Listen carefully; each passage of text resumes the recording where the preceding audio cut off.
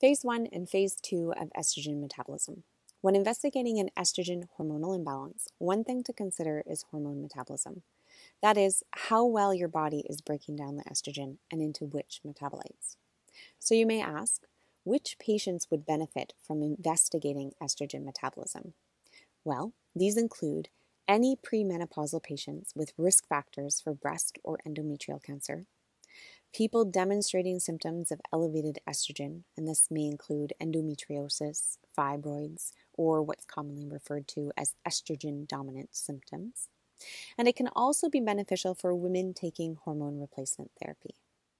So, to illustrate how estrogen metabolism can affect hormonal balance, we need to start with a little review.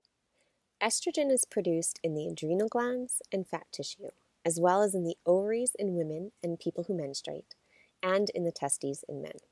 In women and people who menstruate, there are three different types of estrogen. Estrone, which is E1, it is considered to be a weak estrogen. It is produced mostly in body fat, but also in the placenta and ovaries. Then we have estradiol, E2. This is the most potent and active of the estrogens.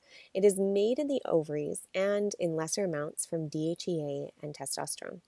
It binds very strongly to estrogen receptors and is the main estrogen involved in the menstrual cycle. And then lastly, we have estriol, E3. Now, estradiol can be converted to estriol predominantly in the liver.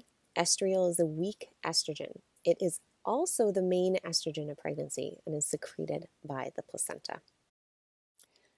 So, our three different types of estrogen, estrone, estradiol, and estriol, are metabolized in the liver through three pathways into the 2 hydroxyl, 4 hydroxyl, and 16 hydroxyl estrogen.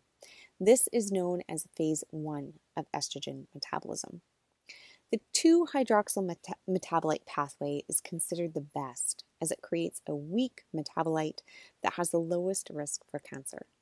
The other two pathways, the 4-hydroxyl and 16-hydroxyl metabolite pathway, produce more potent estrogenic metabolites. And the 4-hydroxyl metabolite in particular is associated with a higher risk of breast and endometrial cancer. Now, phase two of estrogen metabolism involves turning the estrogens into water soluble compounds that can easily be excreted in the urine or in the gut. This process is known as conjugation and may involve methylation, sulfation, or glucuronidation. It's important that both phase 1 and phase 2 are supported when addressing hormone metabolism. So, in clinical practice, we can measure these different metabolites. And if an individual is producing too much of the 4 hydroxyl and potentially 16 hydroxyl metabolites compared to the 2 hydroxyl metabolite, then we focus on redirecting the estrogen down the 2 hydroxyl pathway. And to support the 2 hydroxyl pathway, we use supplements and foods that upregulate the CYP1A1 liver enzyme that is responsible for the hydroxylation of estrone into the 2 hydroxyl metabolite. Now, the foods and supplements that we may recommend can include cruciferous vegetables um, such as broccoli or Brussels sprouts, and the supplement diindolylmethane, which is commonly referred to as DIM, um, has been shown to upregulate the CYP1A1 enzyme. So, we also take into consideration environmental factors that may be affecting this pathway. For example, insecticides have been shown to reduce the activity of the 2 hydroxyl pathway. The other thing we would take into consideration is if the individual has any SNPs. Now, SNP, SNP, stands for single nucleotide polymorphism, which is a DNA sequence variation that occurs when one nucleotide, which is kind of this building block in the genome sequence, is modified. Now, delving into SNPs and explaining SNPs, it's a huge topic and we won't be able to address it in this video.